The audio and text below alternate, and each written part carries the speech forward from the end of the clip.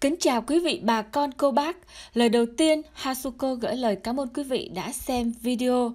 Và ngày hôm nay, Hasuko chia sẻ đến với quý vị với một cái chủ đề đó là điều kiện để xin gia nhập quân đội Hoa Kỳ. Nói tới quân đội Hoa Kỳ, tức là chúng ta nghĩ đến những hình ảnh những anh lính Mỹ rất là phong độ, tướng tá cao lớn và mặc những cái bộ đồ dàn di. Thì đối với Hasuko, Hasuko rất là yêu những anh lính Mỹ và chắc chắn là chị em phụ nữ của chúng ta nhìn những hình ảnh anh lính Mỹ chắc chắn là chúng ta cũng rất là có cái suy nghĩ giống như Hasuko đúng không ạ? Và ngày hôm nay thì Hasuko sẽ chia sẻ với quý vị ờ, điều kiện để xin gia nhập quân đội Hoa Kỳ. Và mở đầu câu chuyện thì Hasuko muốn trích dẫn một số ý kiến, một số tâm sự của một số quân nhân Mỹ gốc Việt như thế này. Đầu tiên là anh binh nhất Jack Fan. Anh có chia sẻ là sau khi đi lính thì anh có cảm nhận như thế này.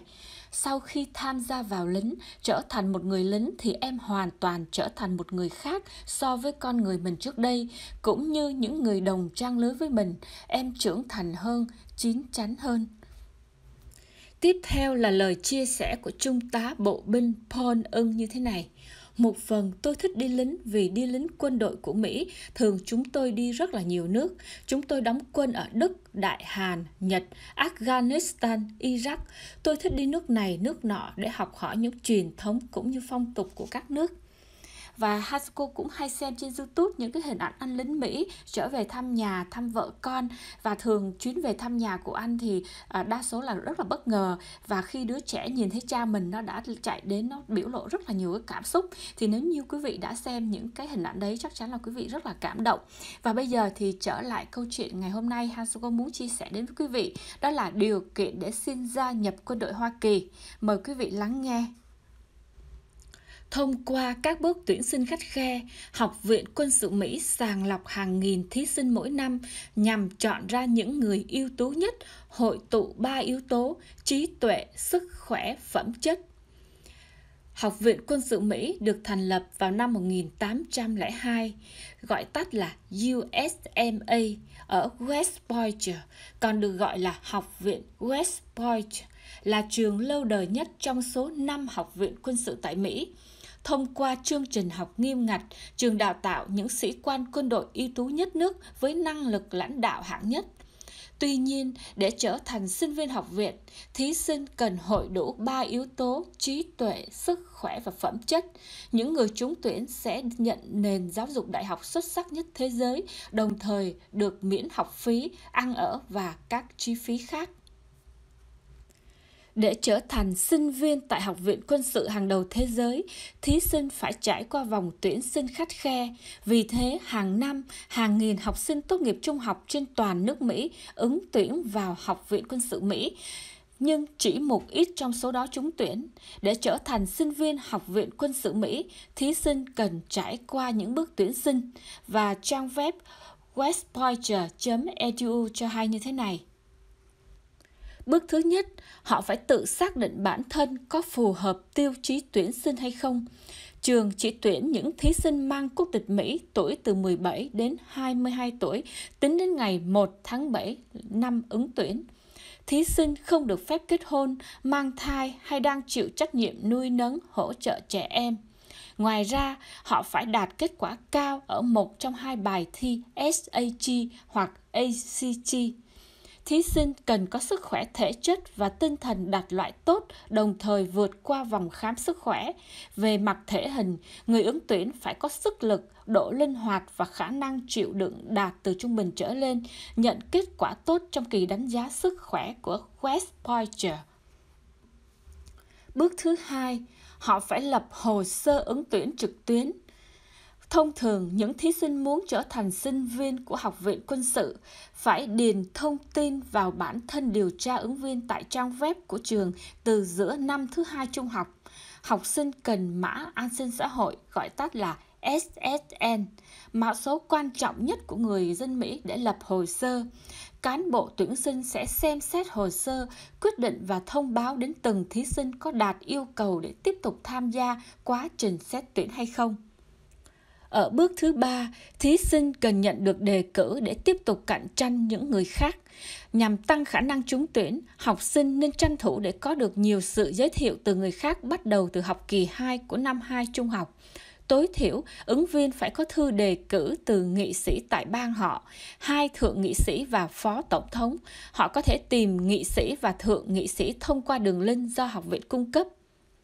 Bước thứ tư, thí sinh điền đơn ứng tuyển trực tuyến vào West Point.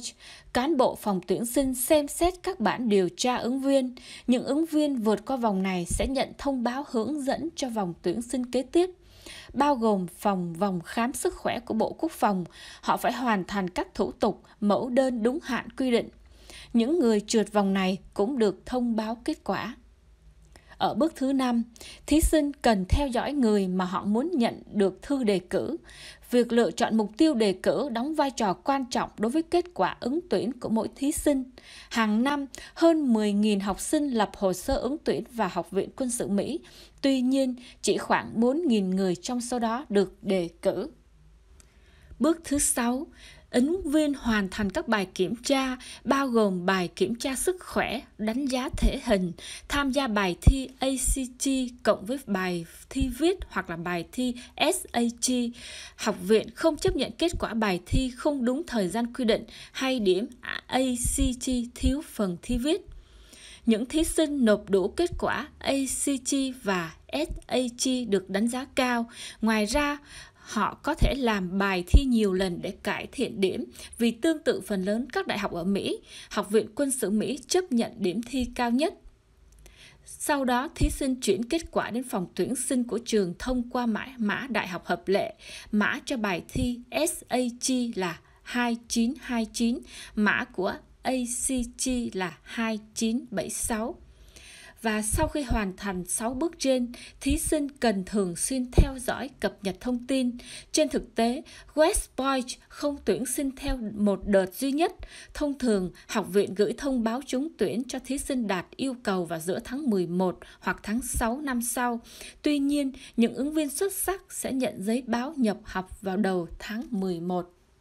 Và trước đây có một quý vị có hỏi Hasuko về trường hợp là cô có một người con trai 23 tuổi mới đến Mỹ định cư, thì cô có hỏi về vấn đề là không biết là có phải đăng ký gia nhập quân đội Mỹ hay không? Tại vì cô sợ một vấn đề là sau này thi vào quốc tịch nó sẽ gặp nhiều khó khăn. Thì lúc đó Hazuko không có những cái thông tin liên quan đến quân đội Mỹ cho nên là có hẹn với uh, uh, cô đó là sẽ hẹn một cái dịp nào đó có thông tin thì Hazuko sẽ chia sẻ. Và ngày hôm nay tiếp nối câu chuyện về chủ đề là điều kiện để xin gia nhập quân đội Hoa Kỳ thì Hazuko chia sẻ tiếp theo với một cái nội dung đó là những quy định về đăng ký quân đội Mỹ cho nam sinh từ 18 đến 26 tuổi dành cho người mới nhập cư thì đối với nam bản xứ ở nước này, thì việc đăng ký nghĩa vụ quân sự được xem là bắt buộc nếu đáp ứng đủ hết các điều kiện. Còn đối với thường trú nhân Mỹ vẫn không ngoại lệ việc đăng ký nghĩa vụ quân sự là một trong những nghĩa vụ đối với nước Mỹ và chúng ta cũng không nên quá lo lắng về mục đích của chính phủ Hoa Kỳ là muốn điều động quân nhân trong những trường hợp cấp bách. Vì vậy, ai đang định cư Mỹ thì chúng ta cứ đăng ký bình thường để Bộ Quốc phòng nắm được danh sách. Nhiều khi xảy ra chiến tranh không phải tất cả nam giới có trong danh sách đều được điều động và không phải ai cũng đủ điều kiện để lên đường nhập ngũ. Và quy định đăng ký nghĩa vụ quân sự Hoa Kỳ thì như thế nào? Quy định này áp dụng chung cho người bản xứ lẫn người định cư tại Mỹ, đăng ký thông qua việc ghi danh tất cả nam thanh niên giúp chính phủ nước này duy trì được số lượng quân nhân nhất định. Một khi cần mở rộng lực lượng quân đội cấp bách sẽ điều động nhập ngũ ngay lập tức. Việc tiếp theo chúng ta cần làm là báo chính xác địa chỉ nơi chúng ta đang sinh sống hay định cư để có thông tin liên lạc ngay khi có trường hợp khẩn cấp, chứ không phải bắt buộc tham gia vào lực lượng quân đội Hoa Kỳ ngay sau khi đăng ký nghĩa vụ quân sự. Và Hasco nhắc lại một lần nữa là không phải ai cũng được triệu tập và không phải ai cũng đủ điều kiện để được triệu tập khi có tình huống xấu xảy ra và độ tuổi đăng ký nghĩa vụ quân sự sẽ từ 18 tuổi đến 25 tuổi theo luật liên bang đề ra. Và chính sách này không áp dụng cho riêng ai kể cả những nam giới chưa có quốc tịch và đang định cư Mỹ. Trong trường hợp sở hữu thẻ xanh bắt buộc là hiển nhiên, nhưng với trường hợp đang sinh sống tại nước này nhưng không có giấy tờ của sở di trú Mỹ ờ, thì chúng ta cũng phải đăng ký. Và trường hợp nào chúng ta được miễn nghĩa vụ quân sự thì đây là những cái trường hợp mà chúng ta được miễn nghĩa vụ quân sự bao gồm trên 26 tuổi. Thứ hai là không có quốc tịch Mỹ kể từ năm 26 tuổi mới nhập cảnh vào Mỹ như thường trú nhân. Thứ ba là đang tạm trú tại Mỹ nhằm phục vụ các mục đích như sau. Du lịch, du học sinh, theo diện ngoại giao, phái đoàn quân doanh, công tác. Tuy nhiên, đối với các du học định cư Mỹ phải xem xét lại xem có đủ điều kiện thì phải đăng ký như quy định. Tiếp theo là giới tính nữ được miễn đăng ký.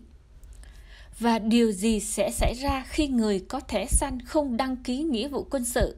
Chúng ta sẽ mất hoàn toàn quyền nhập quốc tịch và các quyền lợi khác được hưởng khi sinh sống và làm việc tại nước này khi không thực hiện việc đăng ký theo đúng quy định của Bộ Quốc phòng Mỹ đưa ra. Và đăng ký nghĩa vụ quân sự Hoa Kỳ thì chúng ta thực hiện như thế nào? Trong bộ đơn định cư Mỹ, chính phủ Mỹ có thông báo việc đăng ký nghĩa vụ quân sự bắt buộc đối với tất cả nam thường trú nhân và công dân Mỹ trong độ tuổi từ 18 đến 26 tuổi. Việc đăng ký này để chuẩn bị cho lực lượng quân lực khi phát sinh yêu cầu khẩn cấp và hiện không có ý nghĩa cưỡng bắt. Thủ tục đăng ký này phải hoàn tất trong vòng 30 ngày sau khi nhập cư. Trong vòng 90 ngày sẽ nhận được xác nhận – nếu không nhận được xác nhận, chúng ta cần liên lạc trung tâm để kiểm tra số phone là 709 688 6888.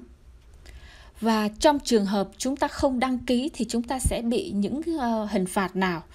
Nếu chúng ta không đăng ký thì chúng ta sẽ dẫn đến một hình phạt là bị phạt tù lên đến 5 năm, phạt hành chính 250.000 đô và ảnh hưởng quyền lợi trong việc nộp đơn các công việc chính phủ, đơn hỗ trợ tài chính học hành và đơn thi quốc tịch.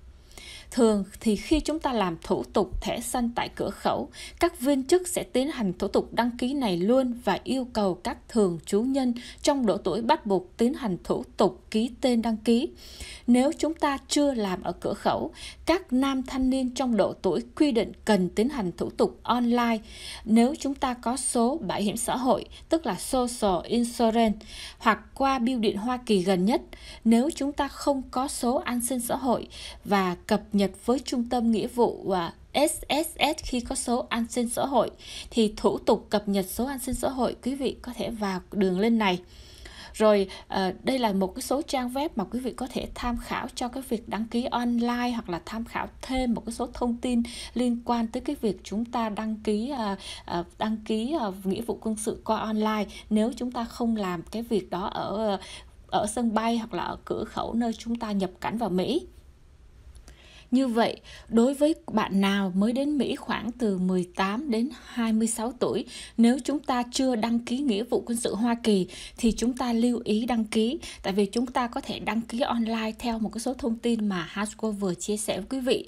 Tại vì nếu chúng ta không đăng ký nghĩa vụ quân sự Hoa Kỳ mà chúng ta nằm trong cái độ tuổi từ 18 đến 26 tuổi thì sau này có khả năng là chúng ta gặp rất là nhiều khó khăn trong cái việc thi vào quốc tịch và khi chúng ta đăng ký nghĩa vụ quân sự Hoa Kỳ hoặc là chúng ta đi lính thì Hasuko thấy có rất là nhiều lợi ích khi chúng ta tham gia quân đội tại vì đó là một cái môi trường rất là tốt rèn luyện cho chính chúng ta này rồi à, chúng ta đi học thì không mất tiền này tại vì khi chúng ta đi học ở bên ngoài nếu gia đình chúng ta khó khăn thì chúng ta phải mượn nợ rồi ra trường chúng ta đi làm trả còn đối với lính Mỹ thì khi chúng ta đi học thì uh, đi, đi nghĩa vụ quân sự sau này chúng ta mua nhà không phải trả tiền lời và rất là nhiều cái tiêu chuẩn khác dành cho quân nhân Mỹ nữa. Rồi chúng ta làm hồ sơ bảo lãnh người thân cũng rất là nhanh chóng và dễ dàng hơn là là người bình thường. Cho nên nếu như quý vị nào mà muốn đi lính Mỹ thì hãy tìm hiểu và hãy uh, mạnh dạn thực hiện cái mong muốn của mình nhé và thông tin Hazuko chia sẻ ngày hôm nay đến với quý vị là Hazuko lấy nguồn từ trang Facebook của anh Minh Trần. Anh Minh Trần có rất là nhiều bài chia sẻ về di trú Mỹ và một số hình ảnh trong video này, Hazuko lấy hình ảnh của thành phố Austin cách nhà Hazuko khoảng 40 phút chạy xe và Hasco cảm ơn quý vị đã xem video.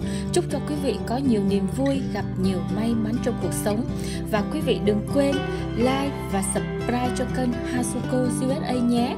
Xin chào và hẹn gặp lại quý vị